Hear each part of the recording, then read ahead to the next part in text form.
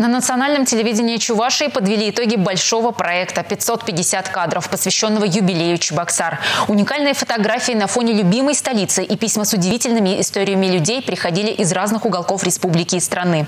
Из 50 историй финал прошли 13 участников. Подробности у Ольги Алексеевой.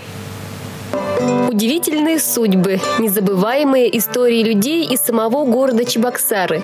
Проект 550 вернул нас в прошлое и позволил сравнить, каким был и каким стал город. Такой, вот это у меня рабочая лошадка была. Зенит есть зенит. Удобно, классно, красиво снимает. Звук вообще классный, мне нравится. Вот слушаем. История семьи Никифоровых стала первой в проекте «550 кадров» и многим запомнилась благодаря большому количеству уникальных снимков старых Чебоксар. Виталий Никифоров первым получил и почетную грамоту финалиста. Регина Антонова в проект попала благодаря трудам своей мамы Алевтины Егоровой, которая всю свою жизнь посвятила изучению столицы, его улиц, зданий, памятников. Многие узнали мамин фотографию, увидели, посмотрели. Значит, ее труд был не напрасен. Такой интерес к ретро-фото сподвигнул меня купить э, пленочный сканер. Пленок еще у меня много. Кроме этого, Пара человек позвонила и попросила сканировать их личные фотографии из архивов, ну, как те, которые дорогие может быть, это мое новое дело будет. Поэтому видите, какой резонанс ваша передача вызвала. Спасибо вам большое.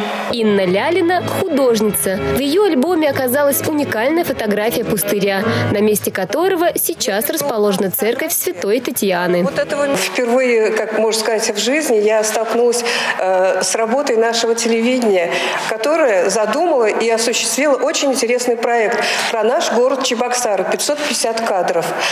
И действительно, заинтересовал этот проект очень многих людей. Понравилась, понравилась передача тоже многим. И, и я думаю, она, э, в общем-то, и будет э, всегда э, напоминать нам об этом проекте. Клара Ильинична Груздева в советские годы работала с Андрианом Николаевым.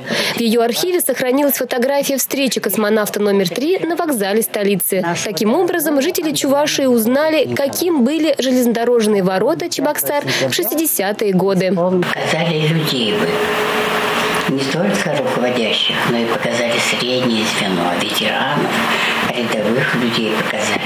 А вы показали человека в этом году изнутри, вот мне показалось, изнутри с его рассуждениями, сомнениями.